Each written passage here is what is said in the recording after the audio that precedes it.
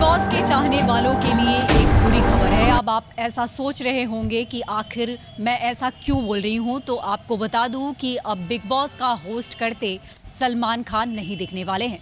और इसके पीछे की वजह है कि सलमान खान इन दिनों डेंगू से काफ़ी परेशान है, जिसको लेकर डॉक्टरों ने उन्हें हिदायत दी है कि वो इस वक्त दरअसल इंडस्ट्री के भाईजान सलमान खान को डेंगू हो गया है, जिस कारण उन्होंने अपनी सारी फ़िल्मों की शूटिंग रोक दी है। साथ ही वो अगले कुछ हफ़्ते और बिग बॉस 16 में वीकेंड का बार होस्ट नहीं कर पाएँगे।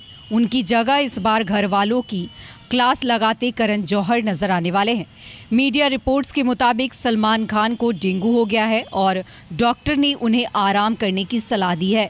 बता दें कि वो अपनी फ़िल्म किसी का भाई, किसी की जान की भी शूटिंग कर रहे थे, लेकिन तबीयत खराब होने की वजह से वो फ़िलहाल फ़िल्म की शूटिंग से भी दूर रहे। आलम यह है कि बिग बॉस का नाम आते ही जहन में सिर्फ़ सलमान खान का चेहरा उभर कर आता है।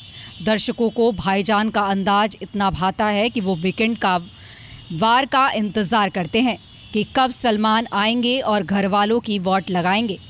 उनके अलावे होस्ट के तौर पर वो किसी को एक्सेप्ट करने को तैयार नहीं।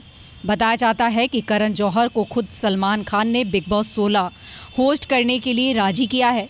तो देखा आपने, फ़िलहाल सलमान खान को डॉक्टर्स ने हिदायत दी है कि आप आराम करें, जिस वजह से सलमान ने अपनी सारी फ़िल्म की शूटिंग भी रोक दी है। वहीं आपको बता दें कि अब कुछ दिनों तक सलमान खान वीकेंड के बार में नज़र नहीं आएँगे। फ़िलहाल ये बिग बॉस के दर्शकों के लिए वाकई एक बुरी खबर है।